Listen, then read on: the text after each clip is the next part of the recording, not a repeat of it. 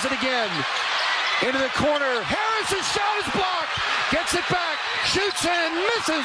Tip is up and in at the buzzer. Wow. It counts, and the Pistons have won the game. How about Bradley Beal coming up with this block?